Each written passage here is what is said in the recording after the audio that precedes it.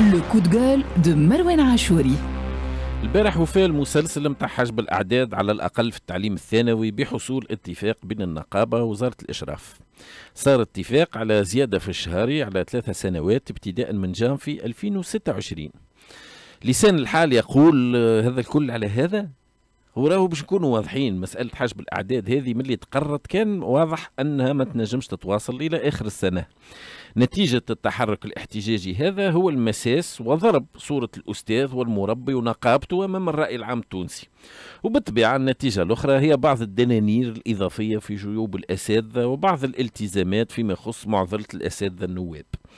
من ناحية أخرى خرج وزير التربية محمد علي البوغديري في ثوب البطل اللي حل الأزمة هذه. وهذا في الحقيقة جاء مواتي مع العلم اللي سي البوغديري كان نقابي معارض للمكتب التنفيذي الحالي اللي تحاشى بكل عناية الدخول في سجال مع الجامعة العامة للتعليم الثانوي والأسعد اليعقوبي. توا مازال المشكل مع التعليم الأساسي اللي ما نتصورش باش يشدوا صحيح أمام التطورات هذه.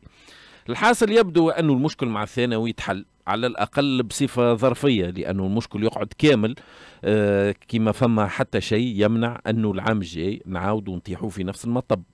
هذا الكل صار على حساب التلميذ وعلى حساب الولي وصلوا حتى قدموا شكاية بالنقابة طلعت الحكاية الكل شادة في 300 دينار بروت أنا الحقيقة متضامن مع الأولياء اللي تعذبوا على طوال السنة الدراسية ومتضامن أيضا مع أساتذة التعليم الثانوي اللي خاضوا الاحتجاج هذا دفاعا على حقوقهم المشروعة ومن بعد لقاو نضالاتهم تباعت بأرخص الأسوام في إطار لعبة تفوتهم في آخر الأمر واجهوا غضب الأولياء وقسوة الرأي العام من غير ما يحصلوا حتى شيء أو الشيء القليل من التحرك الاحتجاجي هذا.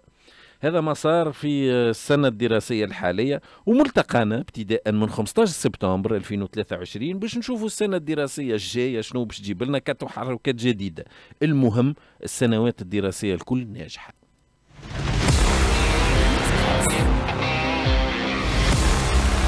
Le coup de gueule de Marwan Achouri.